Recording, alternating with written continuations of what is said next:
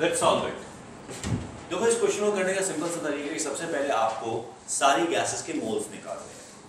And you can initially consider the mass of the each of the gases to be anything you can take it 1 you can take it 10 you can take it 32 you can take it 100 you can take it x.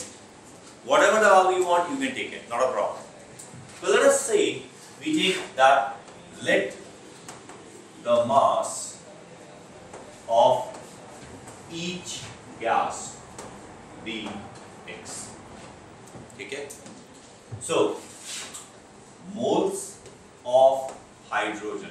And mind it when i'm saying gas it means h2 it means o2 helium is going to be he and methane is ch4 so moles of h2 is going to be x by 2 moles of he will be x by 4 moles of ch4 will be x by 16 and moles of O2 will be x by 32. Fine. Next, total moles. Total moles obviously is going to be the sum of all these. So it is going to be x by 2 plus x by 4 plus x by 16 plus x by 32.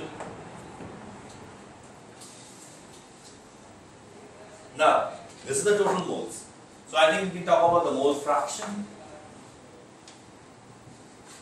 Mole fraction of hydrogen is going to be x by 2 upon x by 2 plus x by 4 plus x by 16 plus x by 32.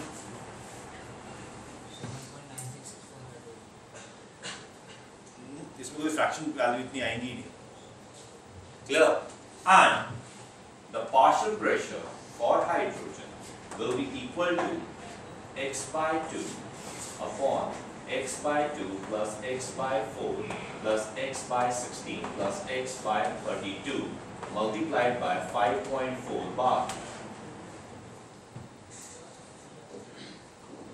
Any confusions here? तो अगर हम इस value को calculate करते हैं तो partial pressure of hydrogen comes out to be सबसे पहली बात तो x कैंसिल हो x will get cancelled out. ठीक है? And when x gets cancelled out, it is going to be 1 by 2 divided by कितना आएगा?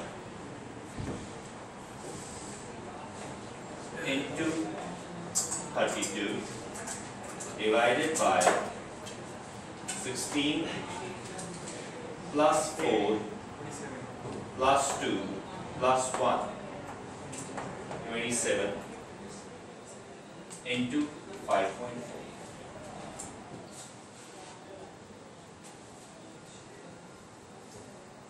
Any confusions? So this is 0.2. This one is 16. So 16 into 0.2 would come out to be 3.2 bar. So the partial pressure of hydrogen comes to be 3.2 bar. Similarly, you can calculate the partial pressure of other gases. ठीक है hydrogen का 3.2 बार आएगा helium का 1.6 बार आ रहा है methane का 0.4 and oxygen 0.2 any confusion कोई confusion समझ आ गया So this is what we call as the Dalton's law of partial pressures. Simple example, simple question. Fine? Now, with that, we have just finished off with the Dalton's law of partial pressure, and now we are going to talk about the Graham's law of diffusion.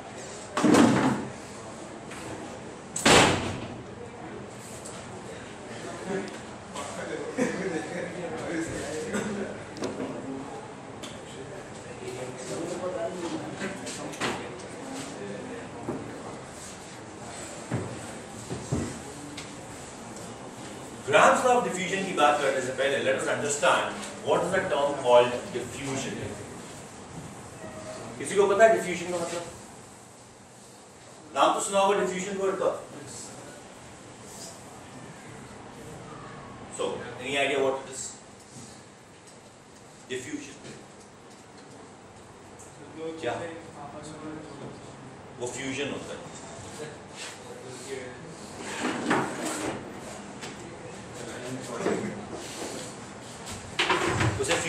Diffusion क्या होता है? जैसे आप किसी को मतलब Saint मारोगे तो उसकी मतलब स्मेल पूरे कमरे हाँ फैल जाती है। उसे डिफ्यूजन कहते हैं। डिफ्यूजन क्या होता है? ये तो एग्जांपल है। डिफ्यूजन क्या है? पार्टिकल्स हाई कंसंट्रेशन से लो कंसंट्रेशन हाँ ये होगा definition. लिखिए definition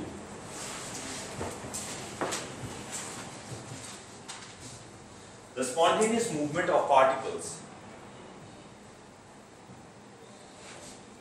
The spontaneous movement of particles from a region of high concentration. The spontaneous movement of particles from a region of high concentration to a region of their low concentration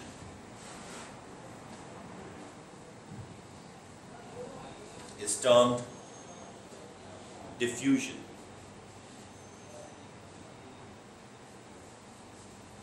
It's termed diffusion. Okay. Now what Graham did was, he took a container which had a partition. In this partition, let us say he filled hydrogen and in this partition he filled oxygen. Now, when he removed this partition, he found that after a certain time, hydrogen and oxygen are completely mixed up. The concentration of oxygen in one of the partition is exactly the same as the concentration in the other partition. It's uniformly distributed. But then what he did was, rather than allowing the, it to mix completely, he moved the partition for a very short time and then closed it. And then he observed the composition. He found that more of hydrogen has mixed as compared to oxygen. जब उसने observe किया कि कितना hydrogen mix कर गया कितना oxygen mix कर गया तो उसने एक बात नोटिस की that the rate of diffusion of any gas is proportional to 1 by under root of its density. Oxygen की जो डेंसिटी है, वो हाइड्रोजन से ज़्यादा है, क्योंकि ऑक्सीजन का मोलर मास हाइड्रोजन से ज़्यादा है तो इस वजह से ऑक्सीजन का जो रेट ऑफ़ डिफ्यूजन है जो मिक्सिंग कैपेसिटी है वो हाइड्रोजन से कम है now this particular observation is termed as Graham's law of diffusion. Write it.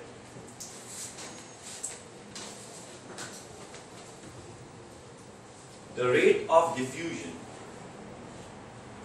the rate of diffusion of any gas, the rate of diffusion of any gas is inversely proportional to the rate of diffusion of any gas is inversely proportional to the square root of its density square root of its density keeping the temperature and pressure keeping the temperature and pressure constant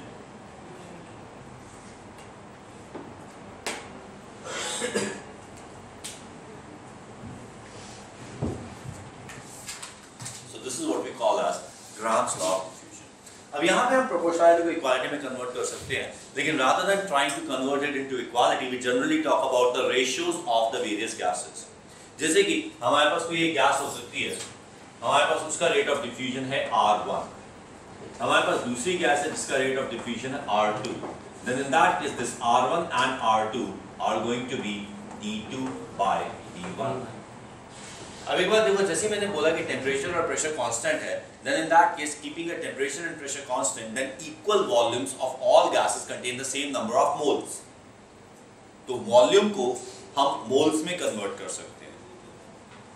Is that clear so this density is mass by volume अगर mass को मैं molar mass ले लेता हूँ तो volume becomes the molar volume fine तो ये density becomes under root of molar mass 2 by volume divided by molar mass 1 by volume remember यहाँ पे मैंने वॉल्यूम को V लिखा है V1 V2 नहीं लिखा क्योंकि टेम्परेचर और प्रेशर कांस्टेंट ले लिया तो मोलर वॉल्यूम सारी गैसेस की सेम हो जाएगी so this volume gets cancelled out and this simply becomes under root of m by m1 expression समझ में आया? कोई कंफ्यूजन इसके अंदर? अब, बात आती है कि how do we represent the rate rate of the diffusion rate के अंदर भी तो कुछ ना कुछ अमाउंट होना चाहिए ना। तो rate of diffusion can be represented as moles mole time inverse that is, the mole of the substance diffused per unit time. It can be represented in terms of volume of the gas per unit time. ठीक है? It can also be represented as the length traveled by the gas per unit time. लेकिन it can not be represented by the mass of the gas diffused per unit time. अगर आपको कोई question मास के form में दे रखा है तो आप उसको आपको उस मास को वॉल्यूम नंबर या लेंथ में या मोल्स में कन्वर्ट करना पड़ेगा। आप मास को डायरेक्टली इस फॉर्मूले में यूज़ नहीं कर सकते। Fine I can even have number of molecules per unit time clear ठीक है। अब कुछ क्वेश्चंस लिख लें।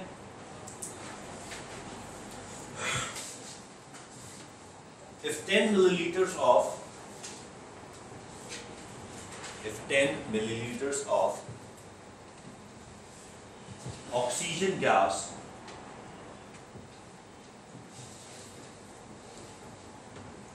diffuse in a given time if 10 milliliter of oxygen gas diffuse in a given time calculate calculate the, the volume of calculate the volume of hydrogen gas calculate the volume of hydrogen gas that would diffuse. Calculate the volume of hydrogen gas that would diffuse under the same condition of temperature and pressure in the same time. Temperature and pressure and the same time.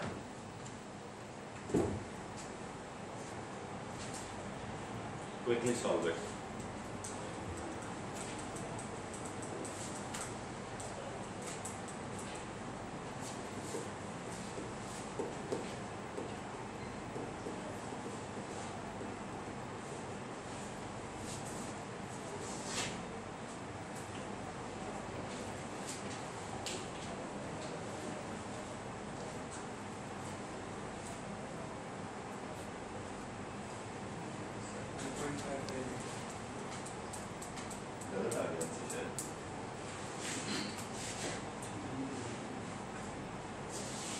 बेटा, एक बात का ध्यान रखना it is R one by R two and it is M two by M one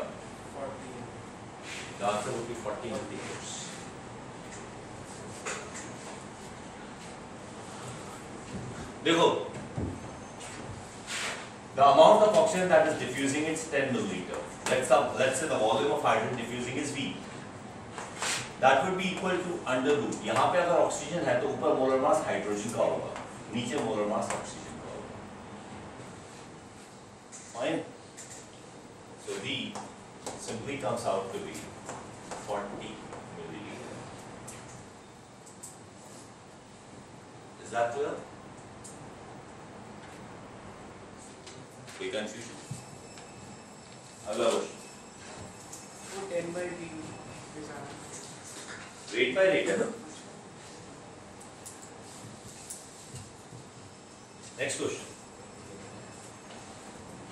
grams of oxygen gas if 2 grams of hydrogen gas if 2 grams of hydrogen gas diffuse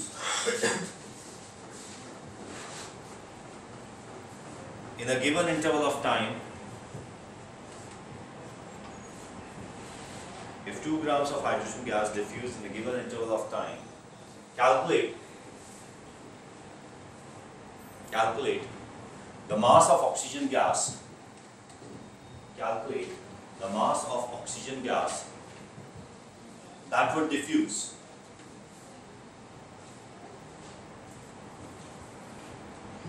In the same time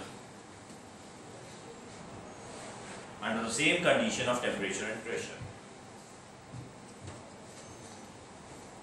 the same time under the same condition of temperature and pressure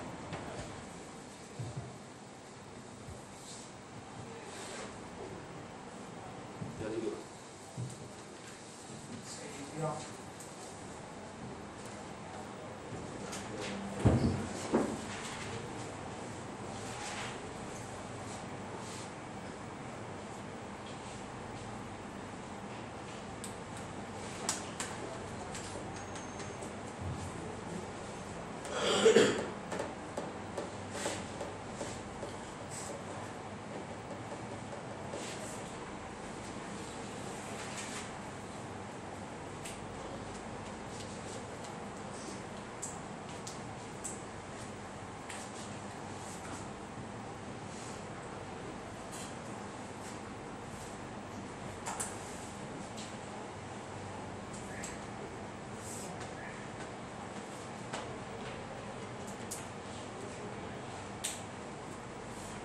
बेटा यहाँ पे volume नहीं दे रखा आपको मास दे रखा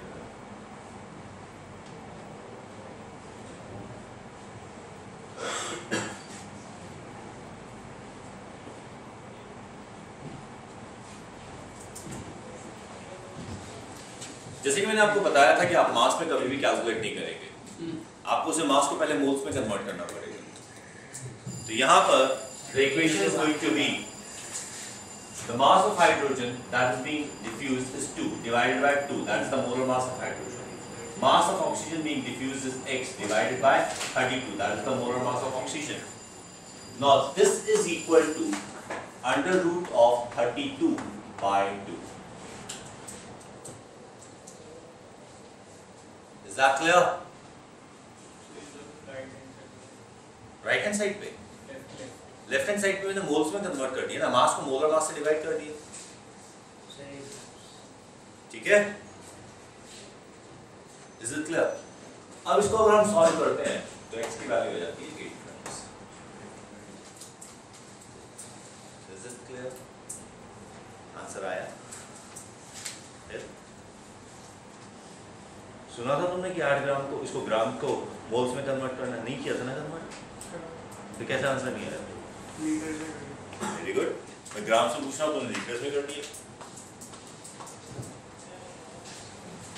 okay एक और question लिखिए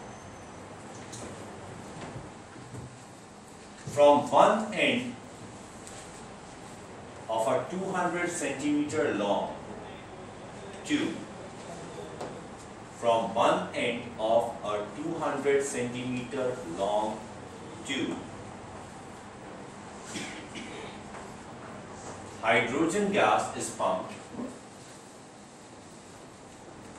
and from the other end oxygen gas is pumped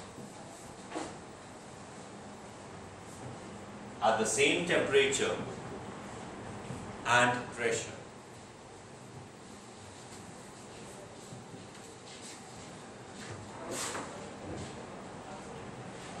At the same temperature and pressure. Calculate the distance from the hydrogen end.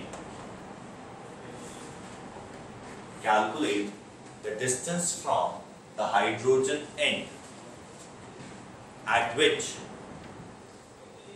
the two gases meet.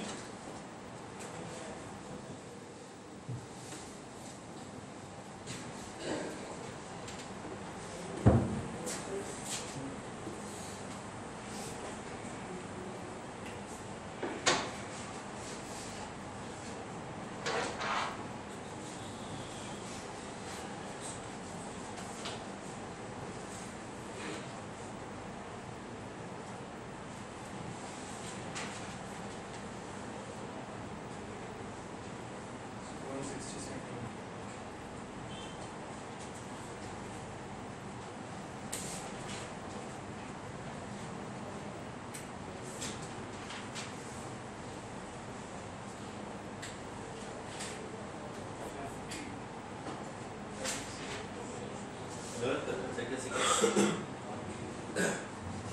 सामने इक्वेशन देखो अगर हम एक टाइम को t लेके चलते हैं in that time hydrogen travels x and oxygen travels 200 minus x so x by 200 minus x is going to is equal to r1 by r2 and that is equal to under root of m2 by m1 substitute it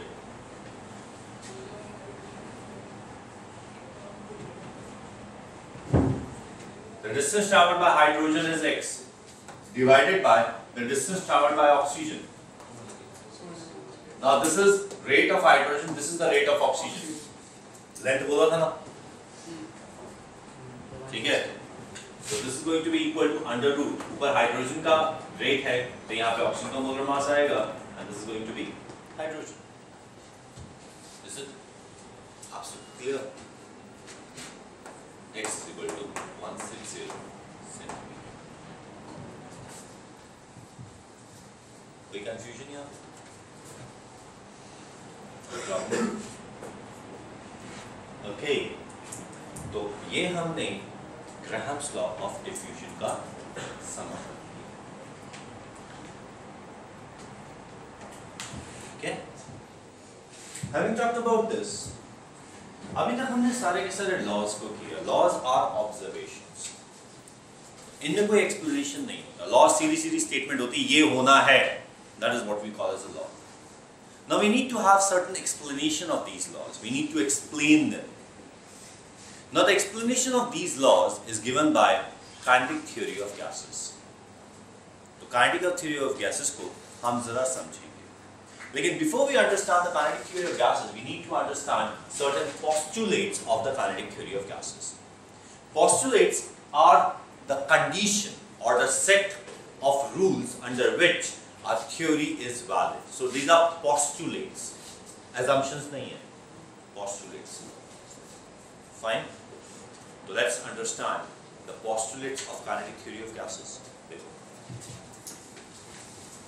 The postulates of kinetic theory of gases.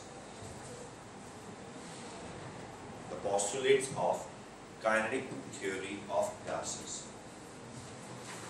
First postulate. The molecules of the gases, the molecules of the gases are point masses. The molecules of gases are point masses. That is, they do not have, that is, they do not have any volume.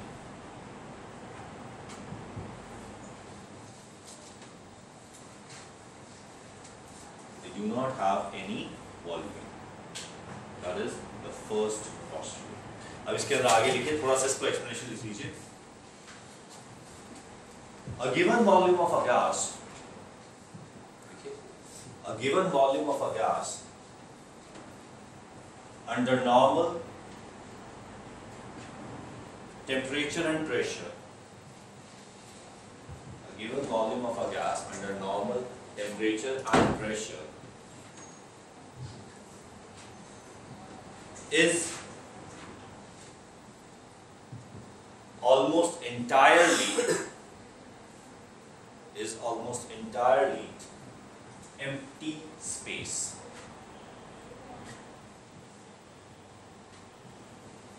Stop. The volume occupied by the molecules of the gas, the volume occupied by the molecules of the gas is negligible. Is negligible in comparison to negligible in comparison to the total volume of the gas.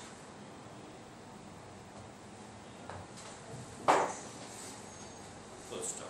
That is the postulate. Second postulate.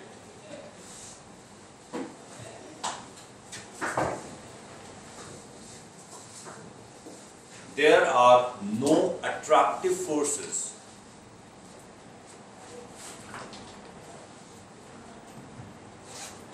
there are no attractive forces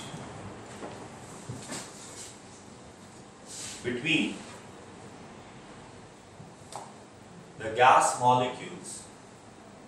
There are no attractive forces between the gas molecules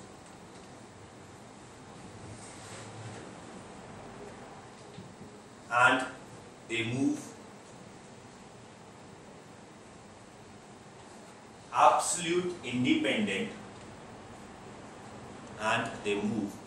absolute independent of each other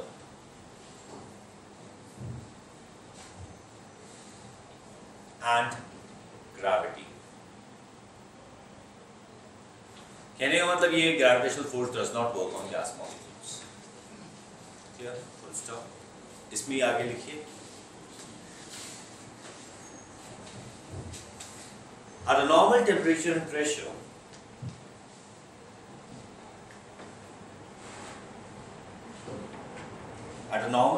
and pressure, the gas molecules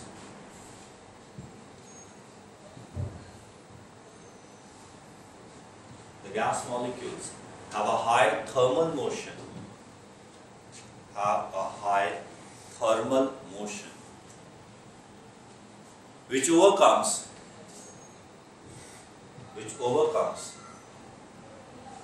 any attractive force which overcomes any attractive force or the influence of gravity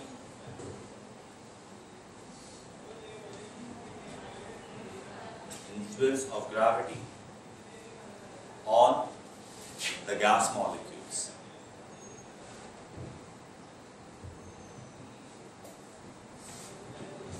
full stop. Further, further, the distance between the gas molecules, further, the distance between the gas molecules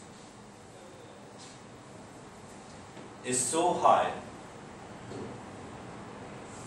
further, the distance between the gas molecules is so high that no significant attractive force exists. No significant attractive force exists between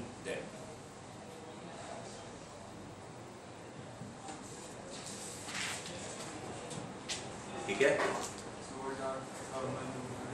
motion? As we increase the temperature, the motion of the molecules increases. That particular motion due to the temperature or the heat content of the body is known as thermal motion. जैसे जैसे temperature बढ़ता चला जाएगा thermal motion बढ़ती चली जाएगी thermal motion tries to keep the molecules in the motion और जितना मॉलिक्यूल्स मोशन में होते चले जाएँगे अट्रैक्टिव फोर्स का इन्फ्लुएंस उतना ही कम होता चला जाएगा fine okay Now, write the third postulate.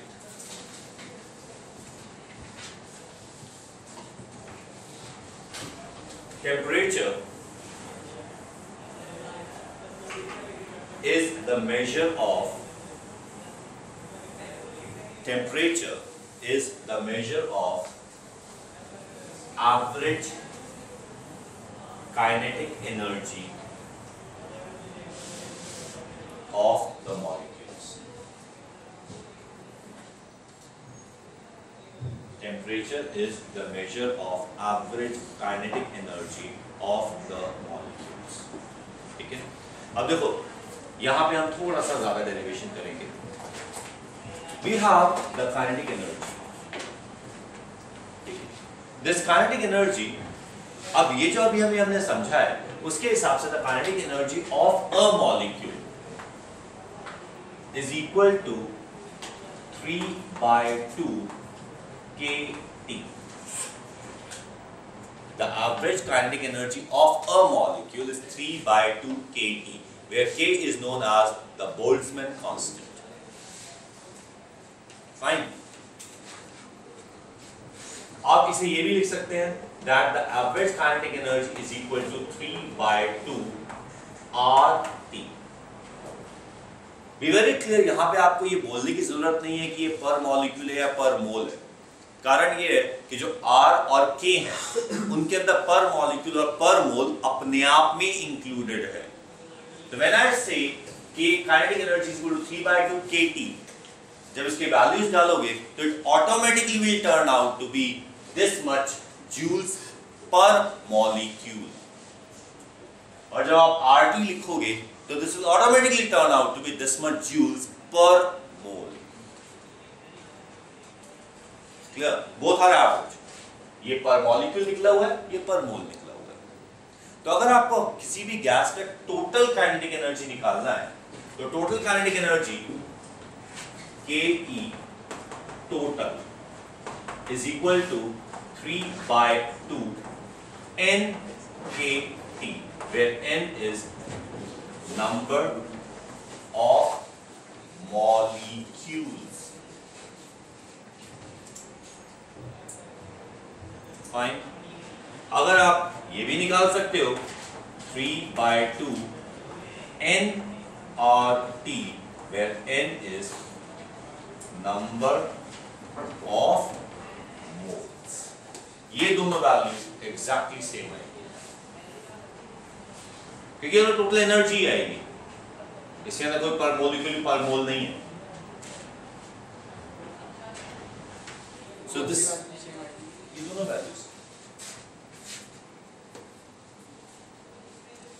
Values के मैग्नीट्यूड में फ़र्क है क्योंकि इनकी डायमेंशंस डिफरेंट है। पर इनकी तो डायमेंशन भी सेम आएँगे तो ये दोनों वैल्यूज़ एग्जैक्टली सेम आएँगे बस ये आपको ध्यान रखना पड़ेगा, कहीं स्मॉल एन की जगह कैपिटल एन और कैपिटल एन की जगह स्मॉल एन मत कर देना। मोल की जगह मॉलिक्यूल और मॉलिक्यूल की जगह moles so this is the kinetic energy अब देखो अगर मुझे एक मॉलिक्यूल की काइनेटिक एनर्जी की बात करनी है तो kinetic energy of one molecule will be equal to one by two m अब देखो वेलोसिटी को हम c लिख देते हैं। वैसे आप v भी लिख सकते हैं, u भी लिख सकते हैं, कुछ भी लिख सकते हैं but I am writing it c so don't confuse with it u कई बुक्स में होता है, कईयों में v होता है। तो I am just writing c.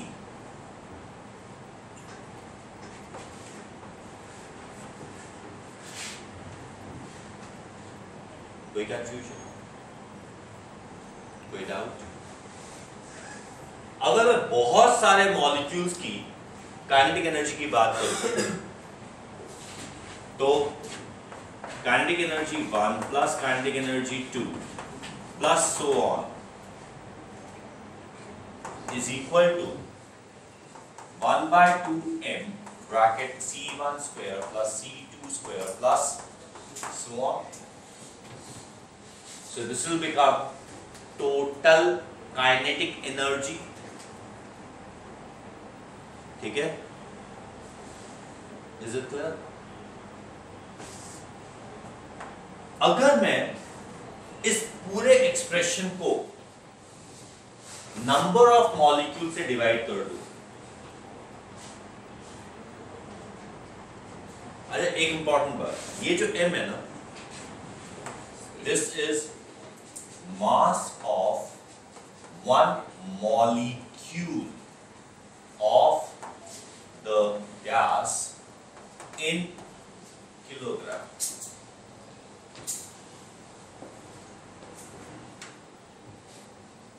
ये एएमयू में नहीं है। यूनिफाइड मास यूनिट में नहीं है। ये किलोग्राम में है। एक ऐसा यूनिट ऑफ़ मास में है। ठीक है और ये velocity is in metres per second therefore, this energy will turn out to be in joules अब अगर मैं इस पूरे वैल्यू को टोटल नंबर ऑफ़ मॉलिक्यूल से डिवाइड कर दो I am going to get kinetic energy average kinetic energy average that would be equal to 1 by 2 m c1 square plus c2 square plus c3 square and so on divided by n तो वो भी C2 का square होगा ना तो c2 का square है अच्छा ये हाँ square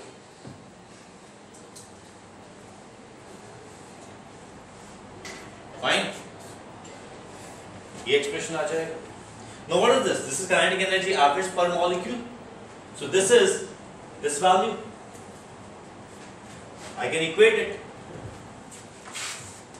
If I equate it, I get 3 by 2 kT is equal to 1 by 2 m. यार बार बार इतना लंबा लिखना मुझे अच्छा नहीं लग रहा ऐसे लिख देता हूँ। Summation c i square by n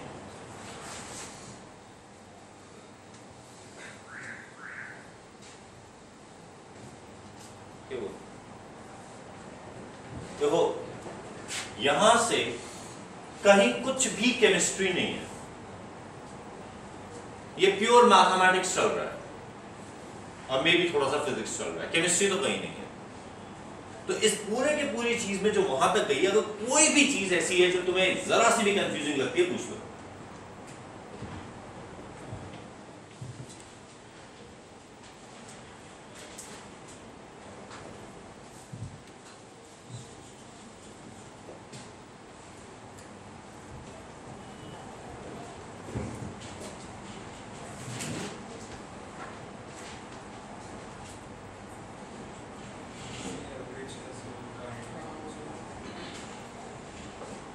बेटा मैंने n से डिवाइड कर दिया ना टोटल नंबर ऑफ़ मॉलिक्यूल से टोटल काइनेटिक एनर्जी को टोटल नंबर ऑफ़ मॉलिक्यूल से डिवाइड कर दोगे तो एक की एवरेज आ जाएगी ना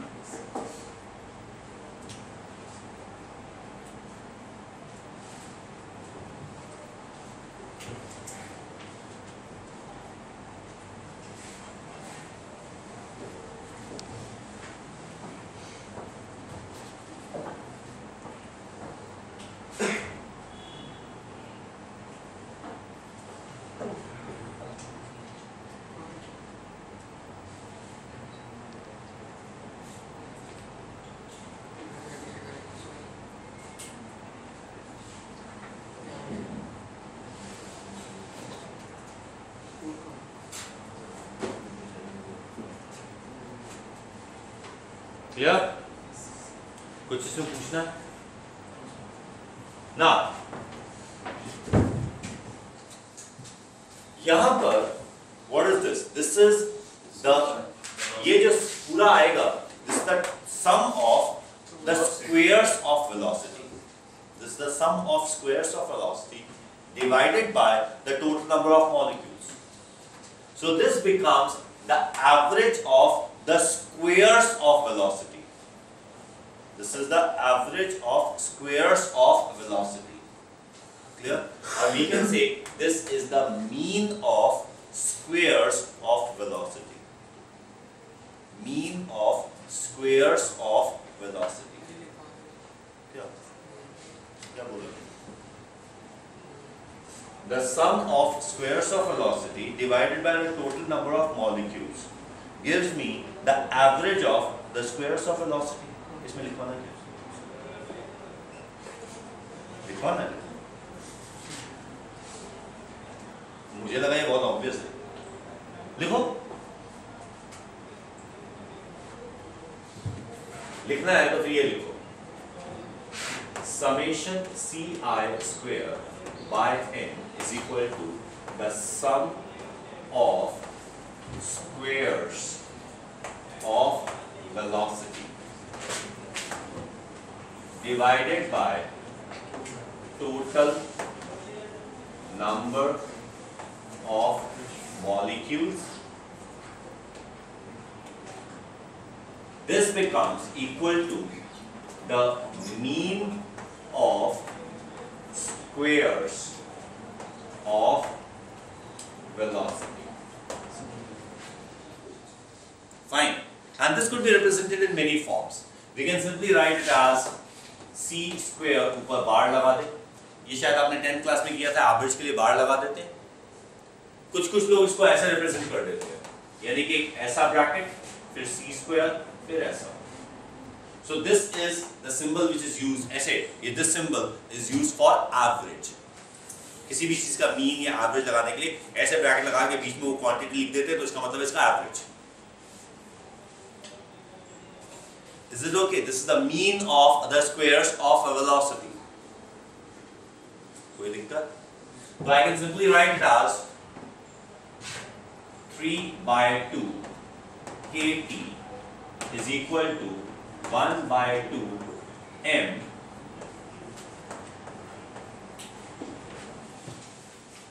ठीक है? आपको बाढ़ लगानी है बाढ़ लगा दो, उसमें मुझे कोई दिक्कत नहीं कोई कंफ्यूजन इस बारे में? हाँ भाई, कोई कंफ्यूजन ओके देन तो आई थिंक ये ऐसे हो जाएगा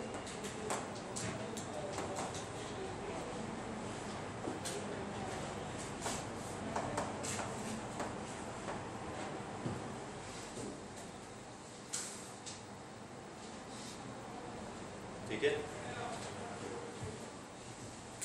अगर मैं इस पूरी इक्वेशन को रूट कर दूँ take the root of this equation then in that case it becomes कोई दिक्कत इस बारे में? कहीं किसी एक्सप्रेशन में किसी सिंबल में दिक्कत तो नहीं हो रही? देखो I am using certain symbols मैं इसको इजी भी कर सकता हूँ but I am using those symbols because they are used exam में आपको कोई भी सिंबल दिया जा सकता है you need to know the meaning of it तो यहाँ पे this is equal to under root three a T by m ठीक है? अब देखो what is k k is the gas constant divided by the Avogadro's number what is m? M is the molar mass divided by the avogadro's number. तो अगर मैं numerator और denominator दोनों को एवोगाड्रोस नंबर से मल्टीप्लाई कर दूँ तो k r बन जाएगा और m मोलर मास बन जाएगा। ठीक है ना? तो I can make it this as three R T by capital N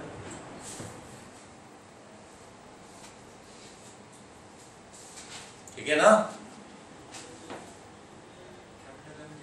molar mass m is the mass of one molecule if i get avogadro number से मल्टीप्लाई कर दो तो it will become mass of the one mole molecule और one mole molecule का mass is numerically the same as the molecular mass but taken in grams ठीक है बस हाँ इस इक्वेशन में ध्यान रखना कि this m is in kilograms.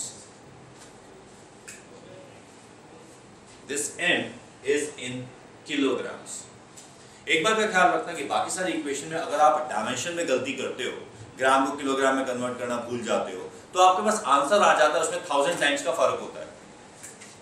अगर इस इक्वेशन के अंदर आपने डायमेंशनली गलती कर दी तो आंसर ही नहीं निकलेगा। क्योंकि under root of thousand is not ten thousand के फैक्टर का फ़र्क पड़ेगा अंडर रूट में, गड़बड़ हो जाएगी। इज़ इट क्लियर अब थोड़ा सा और भी हम खेल कर सकते हैं। We know PV is equal to nRT PV is equal to nRT so इसका मतलब ये है RT is equal to PV by N.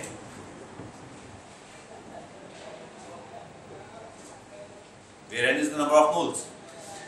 तो यहाँ पे RT की जगह लगा सकता हूँ। Under root 3 PV by N N ठीक है? अगर V को मैं N से डिवाइड कर दूँ तो दिस विल बिकम वॉल्यूम पर मोल या एवरेज वॉल्यूम पर मोल हो जाएगा मीन वॉल्यूम पर मोल हो जाएगा, कुछ भी बोल सकते नंबर ऑफ़ मोल से डिवाइड कर दे।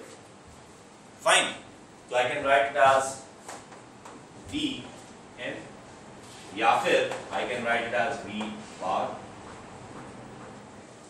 कुछ भी लिख दो। मतलब समझने से मतलब है। समझ आया fine so I can write it as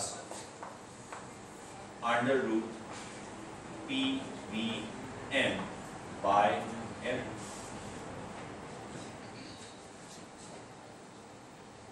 fine ठीक है mass by volume is density क्या हुआ खेल खेल रहा हूं ना so I can write it as under root 3p by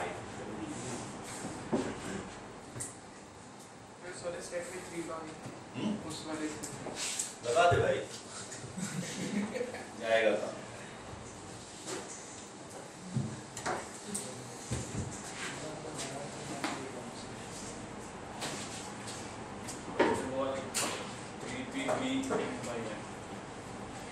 m is subscript उस m का मतलब है वॉल्यूम ऑफ़ वन मोल तो मोलर मास को अगर मैं वॉल्यूम ऑफ़ वन मोल से डिवाइड कर दूँगा तो डेंसिटी निकल जाएगा ना? सेम मास की वॉल्यूम है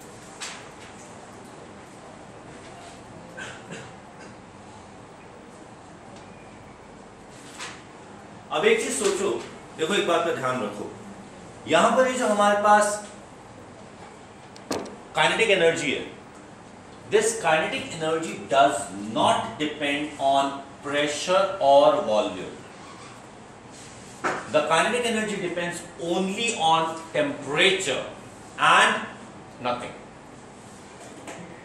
the kinetic energy simply depends on temperature और किसी चीज पे डिपेंड नहीं करता हाँ velocity क्योंकि kinetic energy is half mv square तो velocity will depend on mass and temperature molar mass and temperature not even the total mass molar mass and temperature pressure और वॉल्यूम यूज करके हम velocity calculate कर सकते हैं। Velocity उन पर dependent नहीं है। क्योंकि अगर हम टेम्परेचर कांस्टेंट रखें तो पीवी ये जो प्रोडक्ट है, वो कांस्टेंट रहता है। वो चेंज नहीं होगा। तो इसलिए प्रेशर और वॉल्यूम पर वेलोसिटी या काइनेटिक एनर्जी डिपेंड नहीं करते, उनको यूज़ करके कैलकुलेट किए जा सकते हैं। डिपेंड वो टेम्परेचर पर करता है और velocity depends on molar mass कोई कंफ्यूजन इस बारे में? ठीक है? इज़ इट ओके ये जो हमने लिखा है what we have written here this is the root of mean of squares. Of velocity.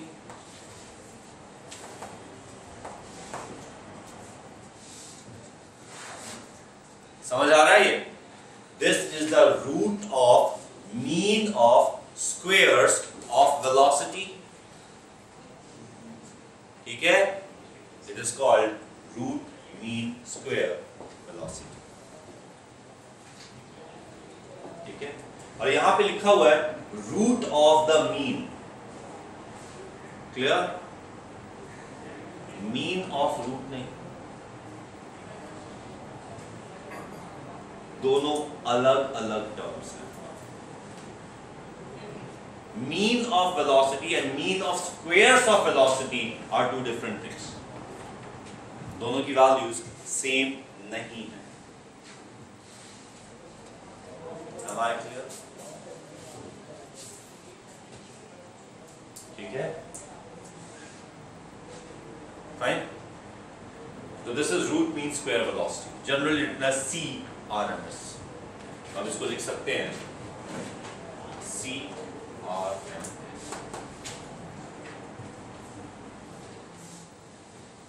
ये जो भी कुछ बोर्ड पर लिखा हुआ है टू द टर्म कुछ भी पूछना है तो पूछो।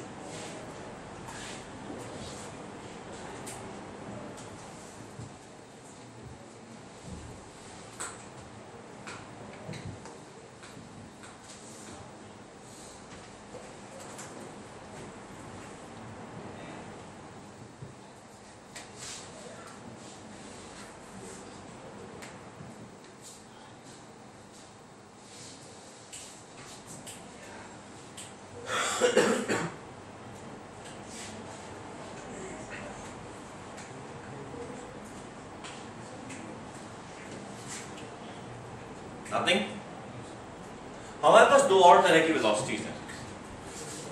एक कहलाता है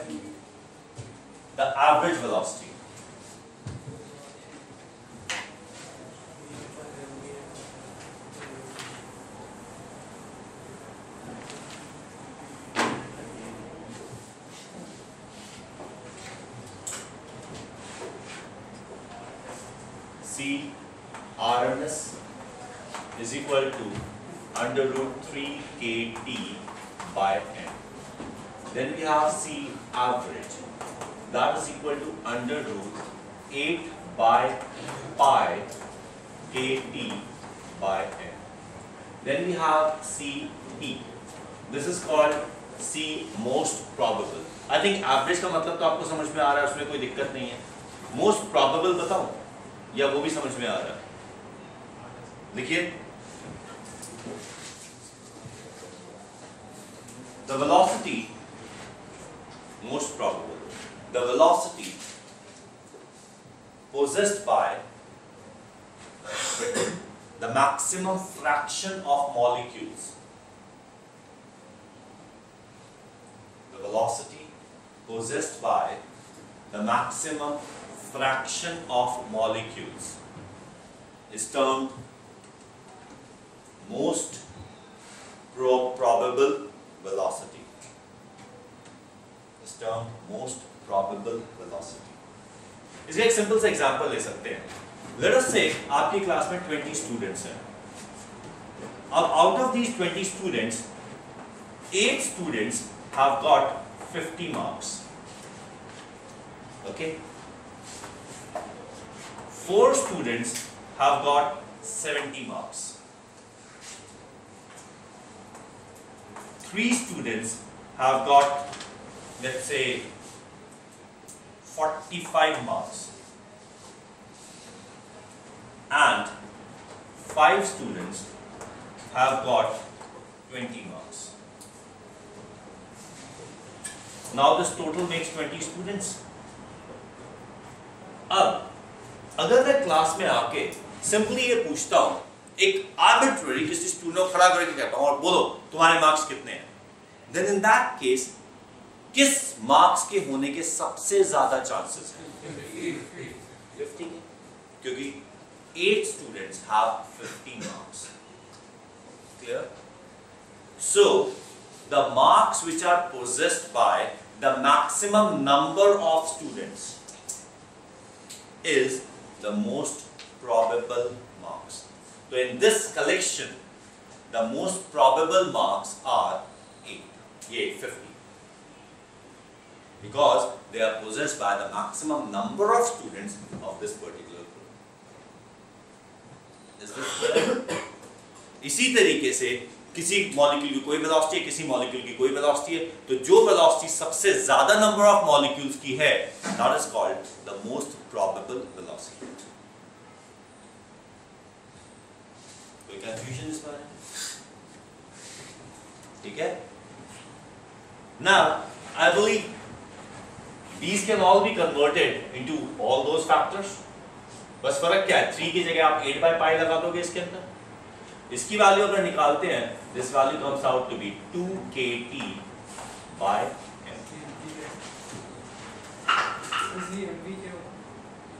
AV average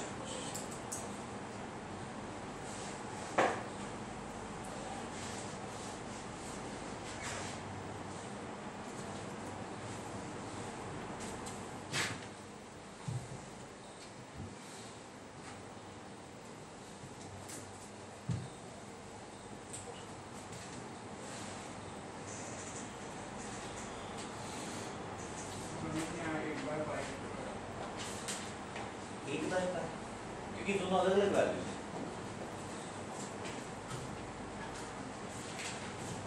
मैंने आपको ये बताया मैंने एवरेज कैसे निकाली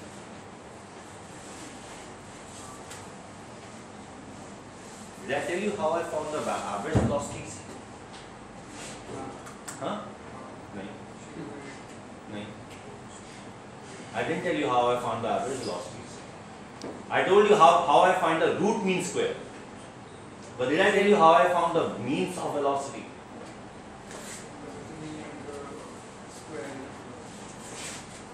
मैंने आपको स्क्वायर का था वो स्क्वायर का था मीन तो नहीं था स्क्वायर का मीन वो स्क्वायर का मीन था मीन का स्क्वायर नहीं root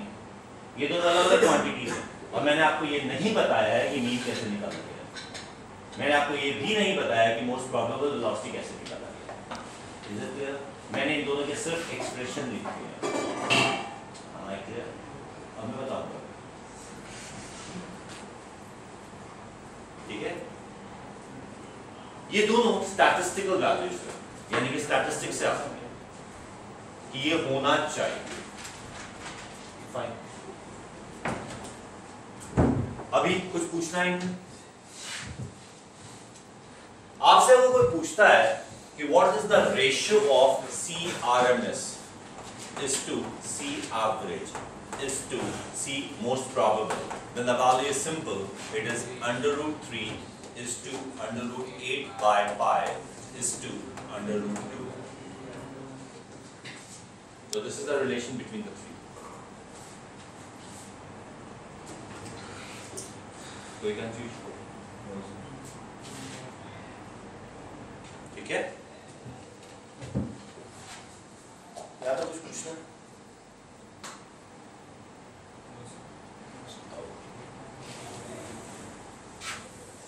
अब हम एक ग्राफ बनाएँगे। और ये एक ऐसा ग्राफ है जो बहुत कुछ आपसे रिलेट करता है। और ये ऐसा ग्राफ है जिसको आप वाकई में जानना चाहेंगे। So. Because now we are going to talk about a graph of the distribution of the marks of distribution in mark uh, distribution of marks in IIT mains exam. तो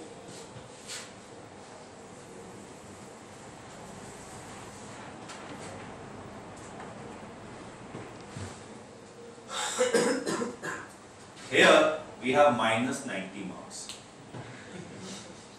क्या हुआ? Minimum marks यही है ना IIT mains में. And here we have 360 marks.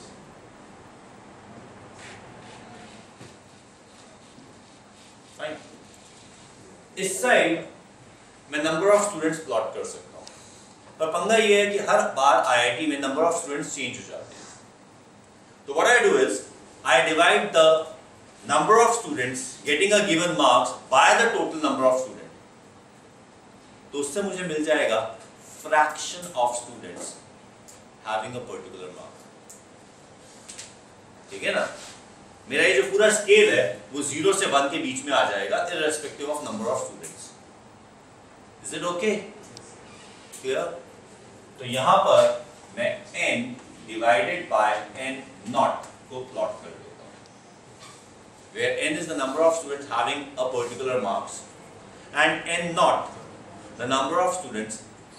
total number of students appeared in the exam graph समझ में आ गया? And here we are plotting the marks ठीक है? नाउ लेट अस से कि हर साल आईआईटी का जो पेपर आया, उसका डिफिकल्टी लेवल डिफरेंट था।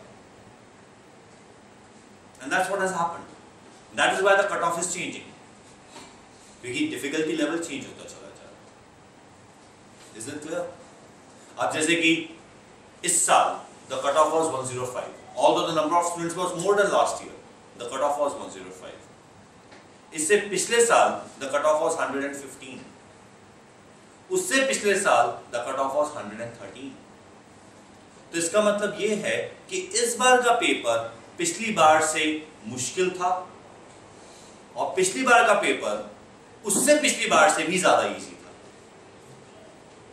That is how the cut off is changing is it clear कोई कंफ्यूजन इस ना अगर पेपर बहुत डिफ़िकल्ट बने। फाइन देखो, एक बात का ख्याल रखना। पेपर जब भी डिफ़िकल्ट बनता है या इजी बनता है, उसमें फ़र्क क्या होता है? कुछ क्वेश्चंस का। चार डिफ़िकल्ट क्वेश्चंस आ गए, या वो चार डिफ़िकल्ट क्वेश्चन की जगह चार इजी क्वेश्चंस आ गए। यही डिफरेंस होता है। फाइन अगर पेपर बहुत डिफ़िकल्ट बनता है या बहुत इजी बनता है। तो प्लीज़ अंडरस्टैंड जो व्यक्ति इस स्पॉट के लिए लड़ रहा है, या इस स्पॉट के लिए लड़ रहा है, इन दोनों को कोई फ़र्क नहीं पड़ता। कोई फ़र्क नहीं पड़ता है। क्योंकि इसके लिए? तो हर क्वेश्चन डिफ़िकल्ट है, जितना मर्ज़ी इजी बना। है ना? इसको तो कुछ भी नहीं आता। तो इसके लिए तो कोई इजी पेपर बना ही नहीं सकता, इसके लिए तो हर पेपर डिफ़िकल्ट है और इसके लिए जो मर्ज़ी क्वेश्चन बना दो, इसको सारे आते हैं तो इसको और इसको पेपर के डिफिकल्टी लेवल से कोई फ़र्क नहीं पड़ता clear with that? Fine. देखो, इस बार भी अगर हम देखें तो आईआईटी मेंस के अंदर अभी भी किसी ने 355 मार्क्स मारे हैं। आईआईटी एडवांस में 504 नंबर के पेपर में अभी भी 469 मार्क्स मारे हैं, जबकि हम बहुत चिल्ला रहे हैं पेपर बड़ा डिफ़िकल्ट था पेपर में, ये था पेपर में, वो था। जिस व्यक्ति ने 469 मार्क्स लिए हैं उस पेपर के अंदर उससे जाके पूछा जाए कि वाज इट डिफ़िकल्ट हो गया कहाँ डिफ़िकल्ट है? सब कुछ तो ठीक था सिंपल तो था। फाइन और जिस पर्सन के पास लास्ट जिसकी रैंक आई है उससे आगे पूछो, क्या इजी था? कौन सा इजी था? एक भी क्वेश्चन तो नहीं आता था बोथ क्लियर अच्छा एक और इंपॉर्टेंट बात। पेपर के अंदर 360 में से 360 लाना जितना डिफ़िकल्ट है, उतना ही डिफ़िकल्ट उस पेपर में माइनस नाइनटी लाना है। माइनस नाइनटी लाने के लिए भी आपको हर आंसर पता होना चाहिए। क्योंकि अगर पूरा छोड़ के आ जाओगे, तब भी ज़ीरो आएँगे। ठीक है? और अगर सारे के सारे ए ए ए ए बी लगा के आ जाओ, या बी बी बी भी लगा के आ जाओ, तब भी माइनस नाइनटी नहीं आएँगे। तो माइनस नाइनटी लाने के लिए भी रियल एफर्ट करना पड़ेगा, या फिर अल्टीमेट अनलकी बंदा होना चाहिए। कोई भी आंसर माफ़ करे, गलत ही मार्क होगा। ठीक है? वरना पॉसिबिलिटी नब्बे क्वेश्चन में से एक क्वेश्चन तो सही हो ही जाएगा। फाइन तो बी वेरी क्लियर कि ना तो किसी के माइनस नाइनटी आएँगे, ना ही किसी के 360 आएँगे। ठीक है? माइनस नाइन्टी वाला कुछ लोग इसके आसपास होंगे, लेकिन the number of people between minus ninety to minus eighty may be minus seventy would be so negligible कि 15 लाख जो स्टूडेंट हमारे पास एग्ज़ाम दे रहे हैं उन 15 लाख के कंपैरिजन के अंदर का फ्रैक्शन बनाऊँगा तो वो फ्रैक्शन इतना छोटा आएगा कि इस लाइन की थिकनेस में ही खत्म हो जाएगा। तो मैं उनको प्लॉट नहीं कर सकता। है, लोग हैं उस रेंज में but they can not be plotted ठीक है? तो अगर ग्राफ प्रैक्टिकली बनाना शुरू करो तो graph would start somewhat from here and then depending on the difficulty level of paper अगर पेपर का डिफिकल्टी लेवल बहुत ज़्यादा है, then the graph would go like this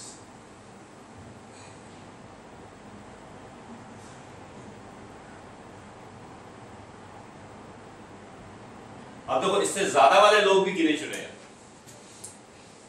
उनका भी फ्रैक्शन इतना कम है that doesn't make a difference दिखेगा नहीं। ठीक है? अगर पेपर के अंदर दो क्वेश्चन इजी कर दिए जाए, बहुत ज़्यादा नहीं। दो डिफ़िकल्ट क्वेश्चन को हटा के दो क्वेश्चन इजी कर दिए जाए। बी वेरी क्लियर वो दो क्वेश्चन इसके फिर भी गलत होंगे। ठीक है? और इसके फिर भी सही होंगे। ना इसके मार्क्स पर फ़र्क पड़ेगा, ना इसके मार्क्स पर फ़र्क पड़ेगा। फ़र्क किसके मार्क्स पर पड़ेगा? A person who has mediocre knowledge वो एक हाई लेवल का क्वेश्चन नहीं कर पाता, लेकिन मीडियोकर लेवल का या लो लेवल का क्वेश्चन वो कर सकता है। और वो लोग कहाँ हैं? यहाँ। वो लोग यहाँ हैं। उनमें से भी कुछ लोगों का वो क्वेश्चन सही हो सकता है, कुछ लोगों का गलत हो सकता है। अब आपने दो और क्वेश्चन इनके डोमेन में डाल दिए ना। They can play for now certain people are going to attempt them correct किसी ने दो में से एक क्वेश्चन सही अटेम्प्ट कर दिया, किसी ने दोनों अटेम्प्ट कर दिए, किसी ने दोनों ही अटेम्प्ट नहीं किए। तो ये रेंज एक्सपैंड हो जाएगी। These marks are going to shift further. And what we get is, we get another graph, which would be something like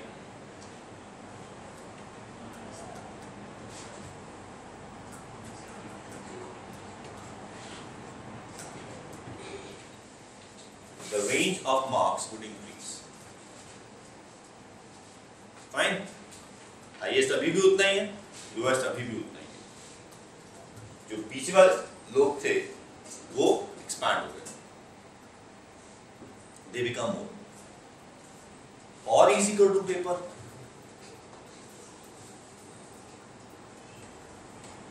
और अगर ऐसा पेपर बन गया तो ये बोर्ड का पेपर बन जाएगा ठीक है? लेकिन बोर्ड का पेपर इससे भी वाहियात होता है। वो तो ग्राफ कुछ ऐसा जाता है। ऐसे ऐसे भी नहीं होता। यहाँ से शुरू होता है, ऐसे जाकर, ऐसे आकर, ऐसे खत्म हो जाता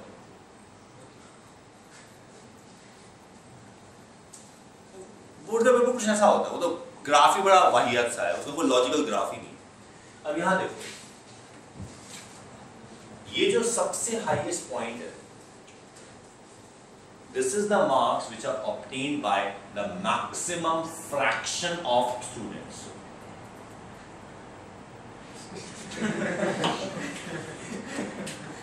this is the marks obtained by maximum fraction of students fine these are most probable marks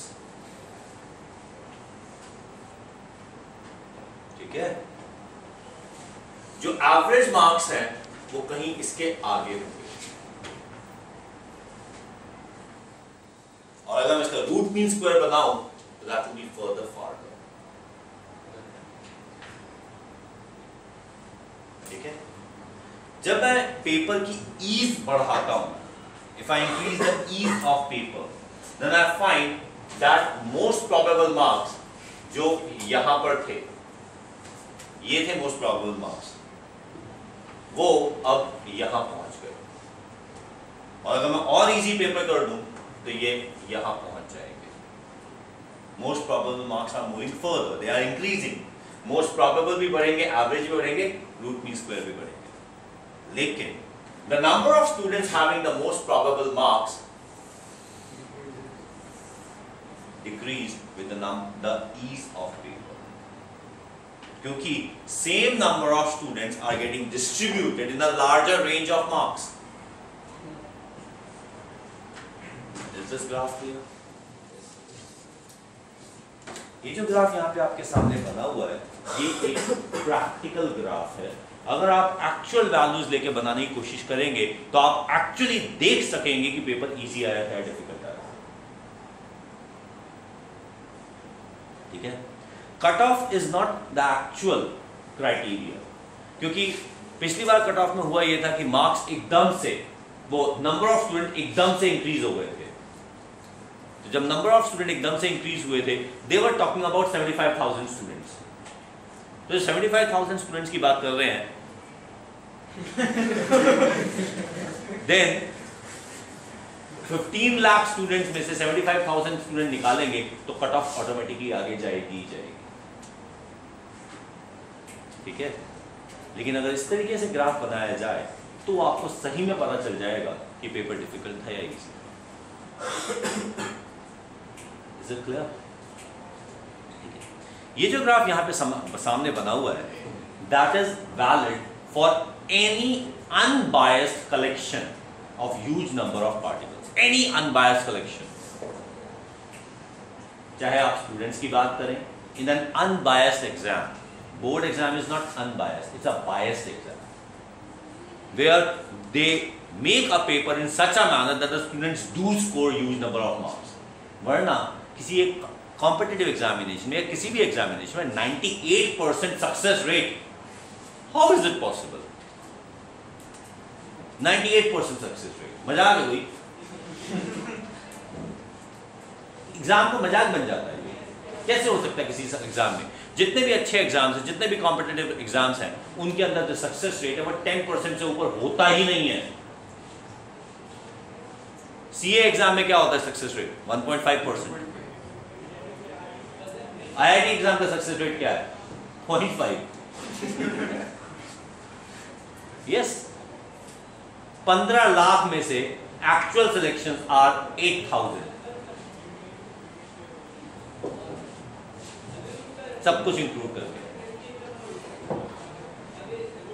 तो क्या है? Point five percent success rate और यहाँ बोर्ड एग्जामिनेशन में 99 percent success rate 98 percent success rate और वो दो परसेंट भी ऐसे होंगे जो मेहनत करके फेल हुए होंगे। नहीं यार मुझको फेल ही होना है। तो कुछ भी करके आएगा पास हो जाएगा।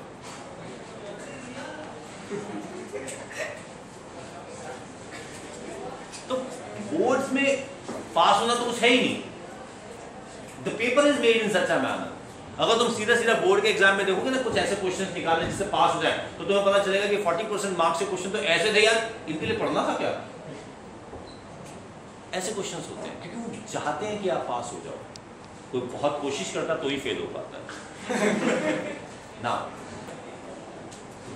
या फिर, अगर आप मान लीजिए एक और कलेक्शन बनाना चाहते हैं let us say you want to make the collection the arrangement of the wealthy people in the world, yeah, wealth distribution in the world, then again you will find this kind of a graph.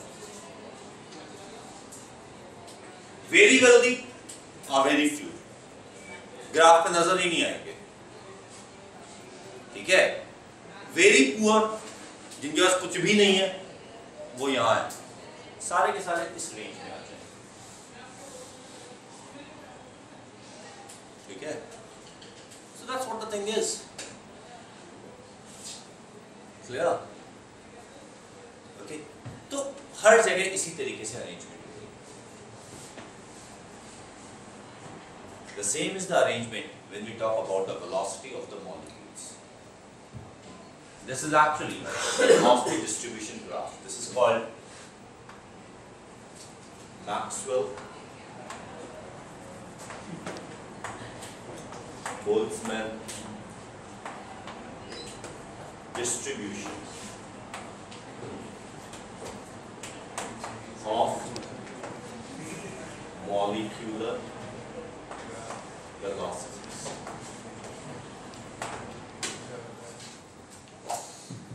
ये graph कोई chemistry से नहीं निकाला गया ये graph mathematics से statistics से निकाला गया and this graph is valid for all the huge collection of particles unbiased collection of particles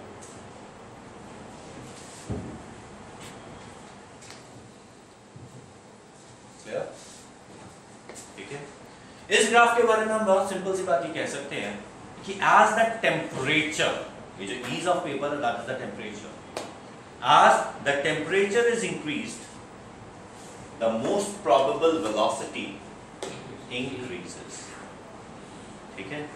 But the number of molecule possessing या fraction of molecule possessing the most probable velocity decreases दिख रहा है?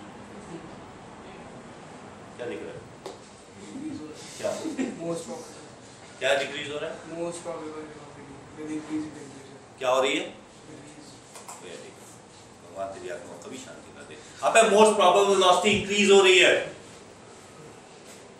ये देख इस temperature T1 this is the temperature T1 this is the temperature T2 this is the temperature T3 T1 is less than T2 is less than T3 ये most probable velocity है at temperature T1 ये है most probable velocity at temperature T2 T2 पे most probable velocity T1 से ज़्यादा है. T3 पे और भी ज़्यादा है. तो with increase in temperature the most probable velocity increases लेकिन these are the number of molecules having the velocity most probable velocity at T1 ये T2 पे, ये T3 The fraction of molecules having the most probable velocity decreases with increase in temperature. Fraction decrease होता है, velocity increase होती है. समझ आया? पक्का? क्या समझ में आया बोल? Fraction decrease होने पे velocity increase होती है. किसकी? दोबारा बोल. Fraction decrease. With increase in temperature, with an increase in temperature, uh, most probability of finding no sorry,